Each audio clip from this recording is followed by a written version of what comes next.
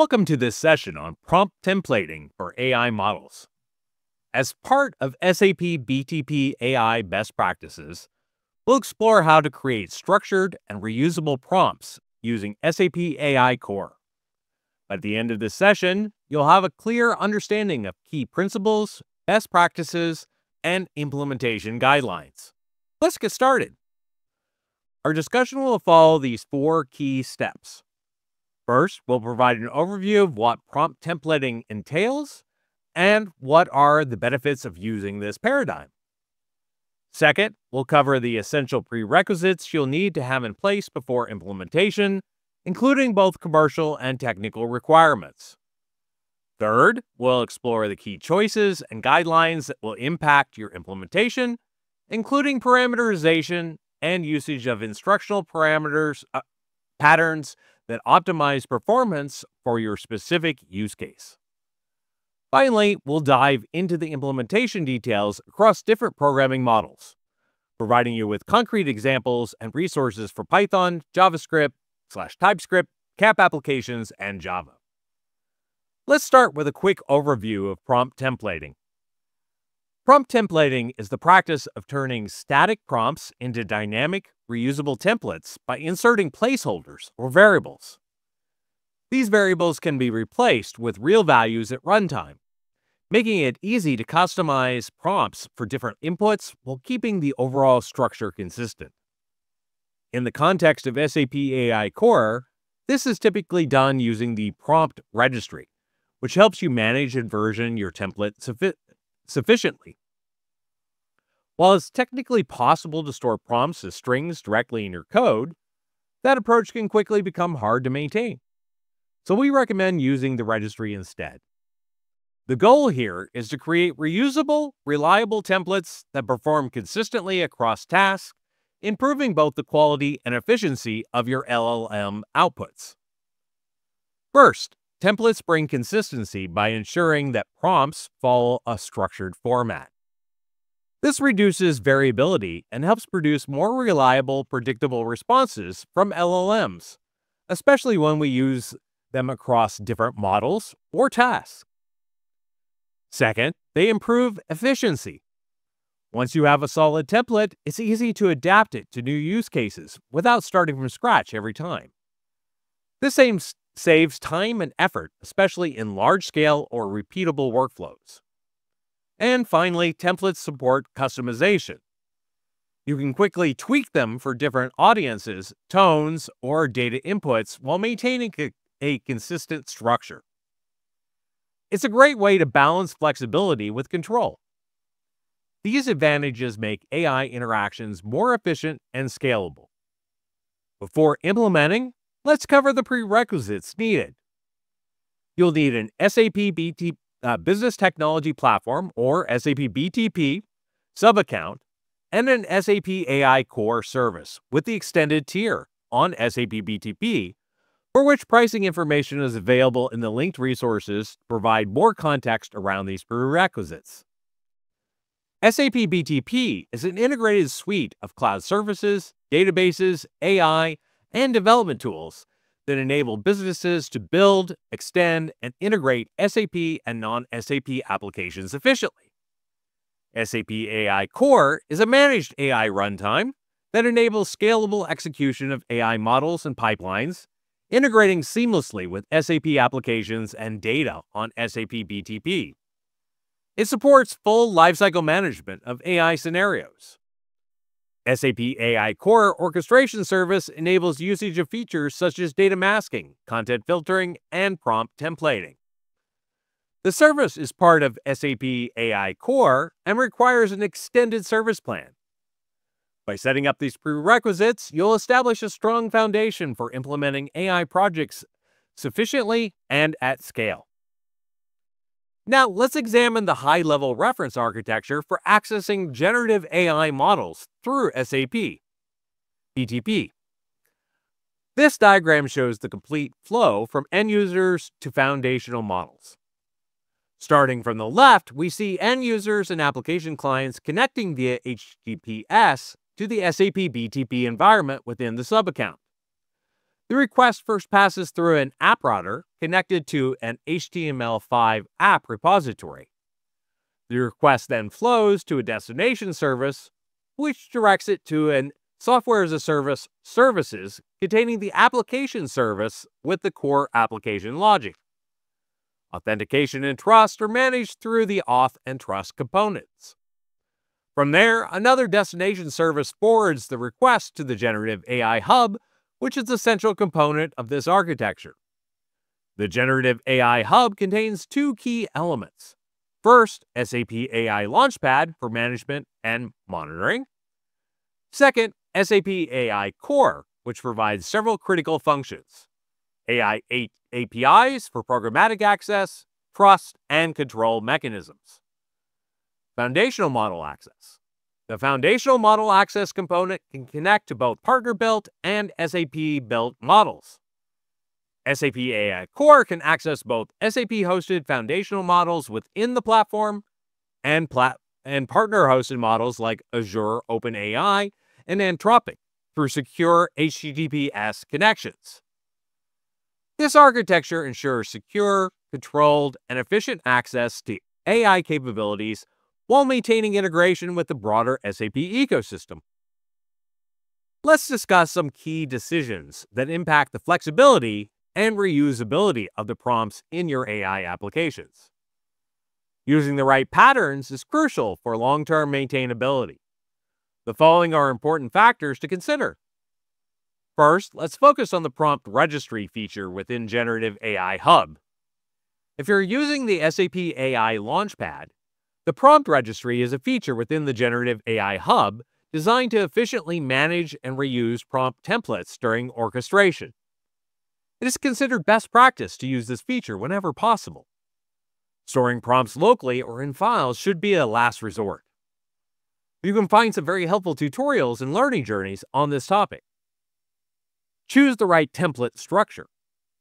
When designing your prompt templates, one of the first decisions to make is whether you use structured templates or modular blocks. Structured templates are more like traditional parameterized strings, for example, using placeholders like input to insert dynamic content. They're great for consistency and clarity, especially when the structure doesn't vary very, very much. On the other hand, modular blocks give you more flexibility.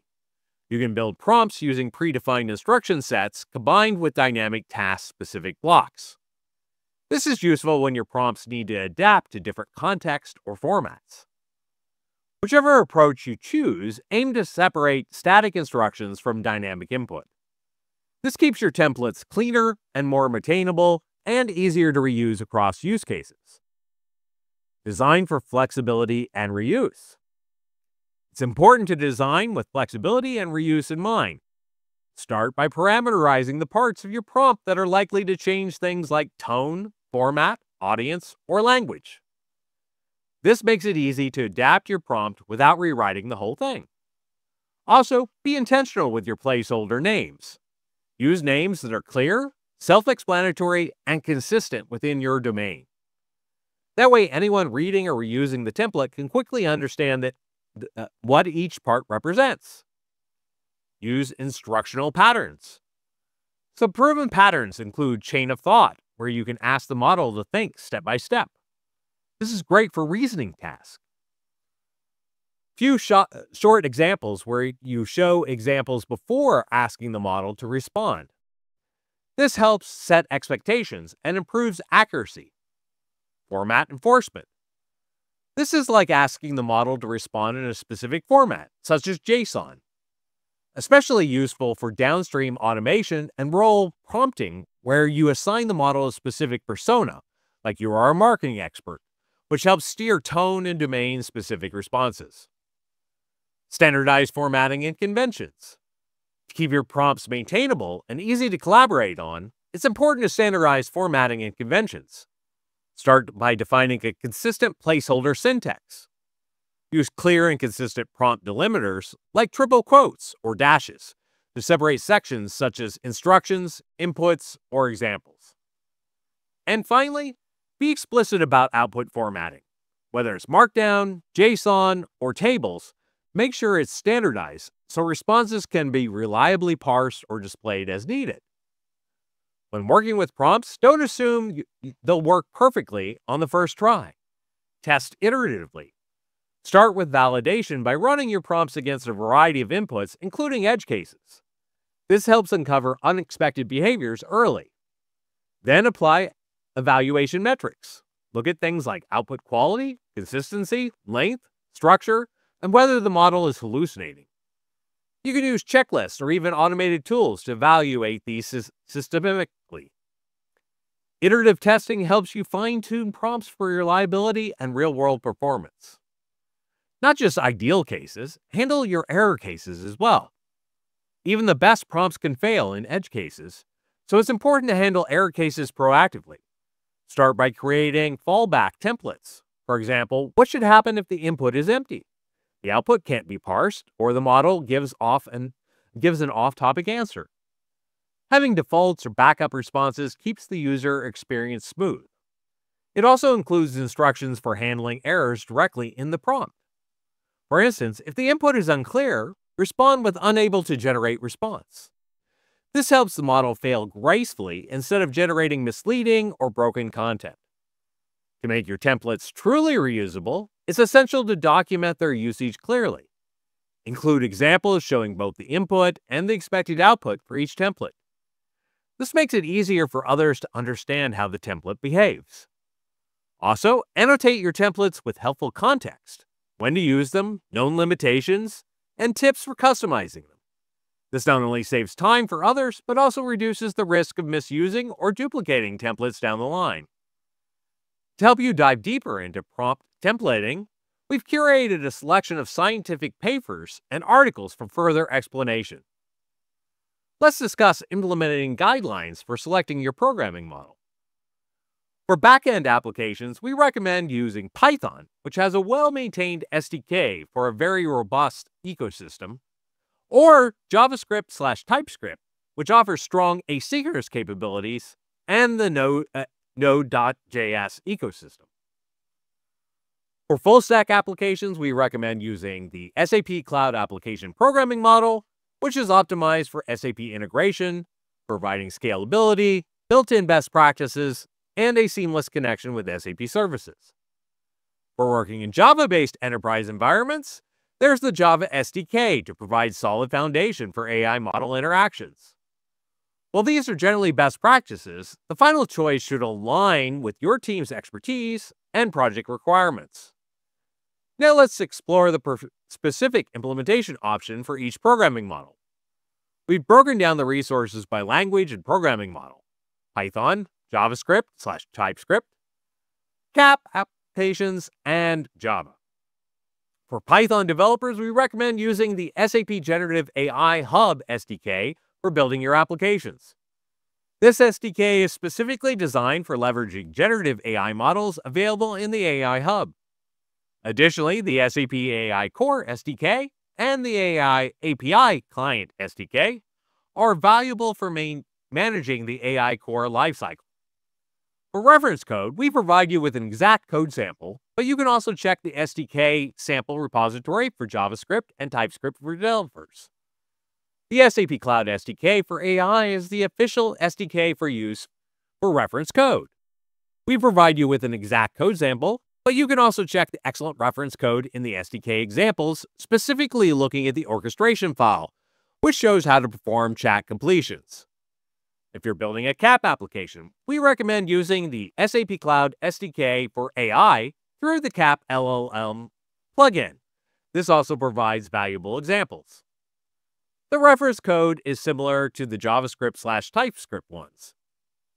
We provide you with an exact code sample, but you can also check the SDK samples examples, focusing on the orchestration file. For Java developers, the SAP Cloud SDK for AI for Java is available. We provide you with an exact code sample, but you can also check the sample Spring App example, which includes both service and controller file implementations. For each programming model or language, we provide the recommended learning journeys that walk you through the implementation process. All these resources are linked, and we encourage you to explore them based upon your preferred, programming model. Each option is fully supported within the SAP ecosystem, providing secure and efficient access to generative AI models while maintaining the flexibility to choose the approach that best suits your team's skills and project requirements. Now here's a sample JavaScript slash TypeScript example showing how to use prompt templating with an orchestration client. In this case, we ask for the capital of a given country. The method asks capital of country first, checks if a country was provided in the request. If not, it returns a 400 error to prompt a proper input. Next, we configure the orchestration client with two main sections. Under LLM, we define the model. Here, it's a GPT 4o, along with parameters like max tokens and temperature. Under templating, we define our prompt as a template. It uses a placeholder country, which allows us to inject different country values dynamically at runtime. Finally, the template is executed with the given input and the result is returned using get content. This approach makes it easy to reuse the same logic for different input while keeping the prompt structure clean and consistent. This best practice guide reflects the collective expertise of AI specialists from across SAP, bringing together insights to support your journey. Thank you for watching this session on accessing generative AI models. We hope the information provided helps you successfully implement AI capabilities in your business applications. Thank you.